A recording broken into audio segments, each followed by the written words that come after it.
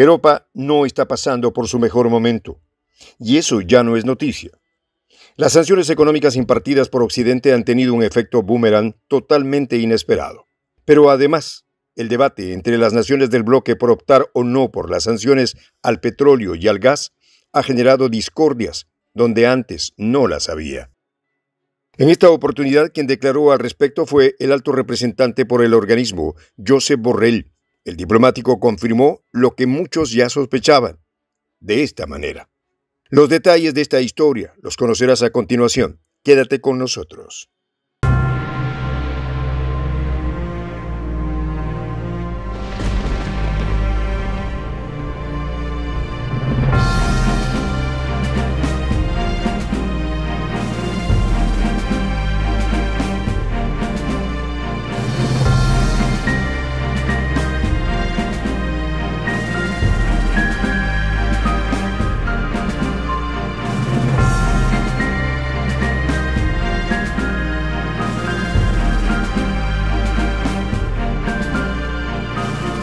De la Patria Grande.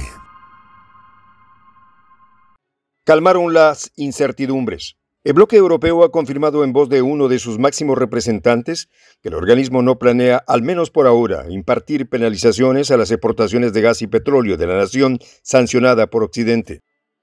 Quien brindó la importante noticia fue el que ya es reconocido y alto representante de la Unión Europea para Asuntos Exteriores y Política de Seguridad, Josep Borrell. El funcionario afirmó esta semana que no planean dictar restricciones en ese sector concreto. La causa, para ellos, y aquí retomamos las declaraciones del diplomático para el medio francés Le Figaro, es una cuestión muy difícil, apuntar a construir una unanimidad en el bloque sobre el embargo. La causa es más sencilla de lo que parece. Algunas naciones son mucho, pero mucho más dependientes de esos recursos energéticos que otras. Sobre este escenario y a modo de ejemplo, nos podemos encontrar con la antítesis perfecta en Alemania y Francia. Mientras Berlín aboga por no impartir sanciones allí, porque la dependencia de gas para su población tiene un margen de más del 40%, Francia hoy se permite un discurso más punitivista con la potencia de Europa del Este. Pues claro que París se puede permitir ese privilegio y trabaja por más sanciones económicas porque su población no registra una dependencia tan alta en estos recursos. Aún así, no podemos dejar de mencionar que el primer suministrador de gas de Francia tuvo duras declaraciones en el mes de marzo. El grupo Engie es quien está a cargo de esta importante tarea en Francia y muchos países de Europa. La empresa ya advirtió que en caso de que se interrumpiera el flujo, ellos no podrían sustituir todo el gas que se importa hoy de la nación sancionada. El caso de Francia es bastante especial. Este invierno no habría problemas de aprovisionamiento si el próximo año. París y la administración de Emmanuel Macron ya están tomando sus recaudos. Pero si bien se están aumentando las capacidades de la unidad de regasificación de gas licuado en Fos Cabú, cerca de Marsella, los mecanismos de los que disponen tienen un alcance limitado. Entonces, sobre este escenario de disputas permanentes e incertidumbres ilimitadas, Josep Borrell declaró para el alto funcionario, y hasta donde él sabe por el momento, y aquí citamos sus propias palabras, no hay ninguna propuesta sobre la mesa en materia de petróleo y gas.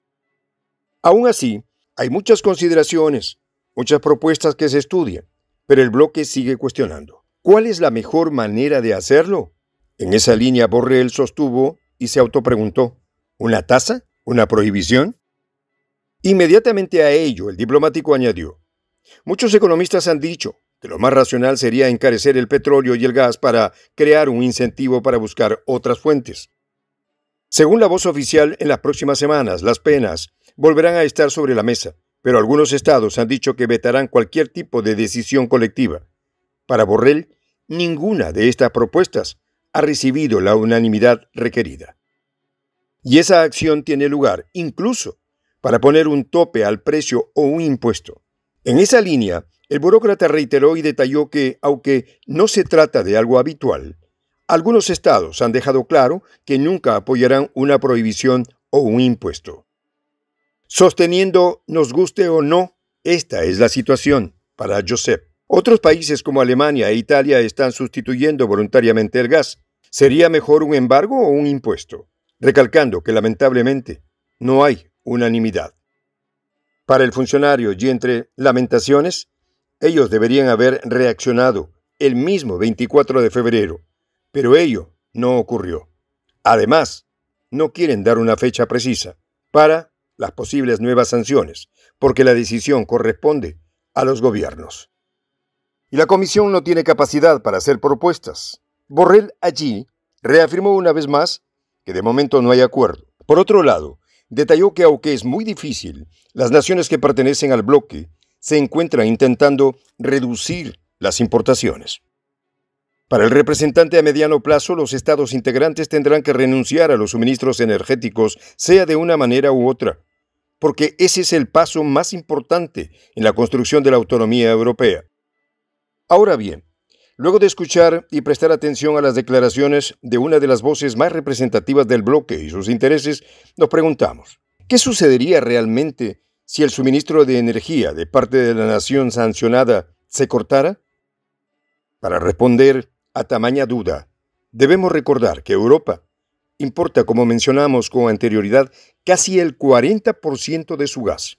Alemania, y aquí lo reiteramos también, es una de las naciones que más depende. Imaginémonos que el año pasado adquirieron el 55% del total de su gas natural.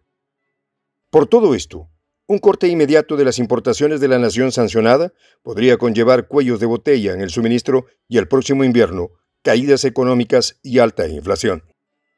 Pero además, y aquí citamos al ministro de Economía alemán, cientos de miles de personas perderían su empleo. En paralelo a todo este conflictivo panorama para muchas personas, el camino al trabajo apenas será asequible, así como la calefacción y la electricidad. En ese sentido, RT retomó la voz del ministro de Transición Ecológica Roberto Singolani para el italiano, reemplazar el gas importado puede llegar a tardarse hasta tres años. Sin dudas, la situación es problemática. No tiene una solución y una vía de escape inmediata, y todas las naciones están haciendo lo que pueden, no así lo que quieren. Si algo nos dejó en claro Borrell en esta oportunidad, es que no se puede cambiar el rumbo económico de un continente de la noche para la mañana. Pero usted, ¿qué opina? Soy el J Juan José del Castillo, director del canal Prensa Alternativa. Si quieres ser parte de la comunidad de la Patria Grande, suscríbete a nuestro canal. Si es que quieres que te lleguen las notificaciones cada vez que subimos un video, activa la campanita. Si quieres apoyar a nuestro canal económicamente, puedes hacerlo a través de PayPal. El enlace está en la descripción del video. A nombre del equipo de prensa alternativa, me despido con esta expresión en el quechua milenario, Tupananchis Kama, cuya traducción es hasta volvernos a encontrar.